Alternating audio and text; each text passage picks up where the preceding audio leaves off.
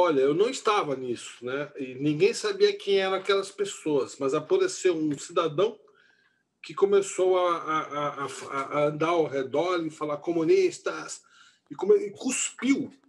quem era esse pai. cidadão? Jair Bolsonaro. E... Cercado por seus filhos, já cercado por seus filhos. E ele cuspiu no, no busto que estava sendo inaugurado.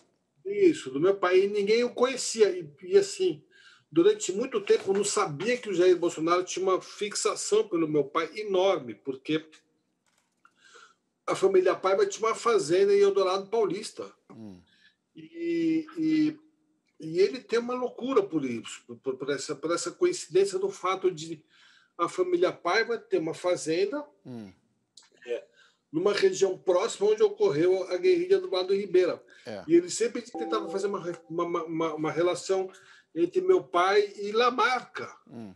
É, depois que eu vinha descobrir isso, que eu fui dando Google para saber o que, que esse cara tem contra a minha família, é. e eu vi que ele fazia discursos desde do, de 1996, hum.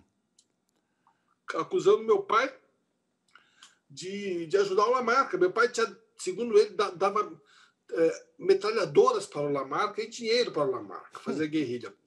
O que, na verdade, é um desconhecimento da história, porque o Lamarca, que, que deveria dar dinheiro e, e metralhadoras para o meu pai, porque o Lamarca ele fugiu do, do, do quartel do Exército, era um capitão, ele fugiu junto com alguns sargentos, com o Darcy e outros sargentos, para montar a VPR. É.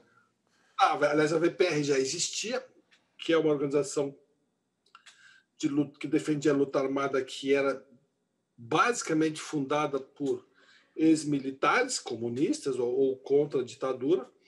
E o Lamarca fugiu do quartel de Quitaúna, aqui de São Paulo, com um, um armamento, um armamento de, de fuzis FAL, né? de fuzil de alta repetição, fuzil mais moderno que tinha. E, e foi uma Kombi cheia de fuzis.